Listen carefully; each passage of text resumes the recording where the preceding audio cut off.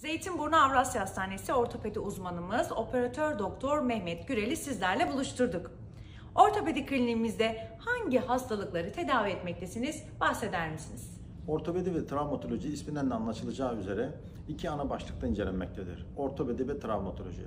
Travmatoloji trafik kazaları, iç kazaları ya da diğer kazalar gibi kazalar sonrasında hastada oluşan doku, kas, kemik, tendon kayıpları, kırıkları ya da açık yaralanmalar, kapalı yaralanmalar sonrasında ortaya çıkan travmatolojik hasardır.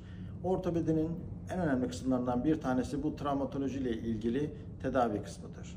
Bu tedavide cerrahi müdahaleler, konservatif takipler, alçılama e, gibi yöntemler kullanılmaktadır. Bunun dışında bir de acil olmayan bir tarafımız vardır. Bu yeni doğandan 100 yaşına kadar herkese içeren, e, yeni doğandaki kalça çıkıklarından, e, vücuttaki şekil bozukluklarından, deformitelerden başlayıp spor yaralanmalarına, e, daha sonra ortaya çıkabilen deformitelere, eklem hastalıklarına, dizdeki menisküs yırtıklarından yaşlı insanlarda ortaya çıkabilen kireçlemeler yani gonartroz, koksartroz dediğimiz diz kalça kireçlemelerine ya da omuz eklem kapsül yırtıklarından tutun da e, kas yaralanmalarına kadar çok geniş bir spektrumda hastalık içermektedir ortopedi.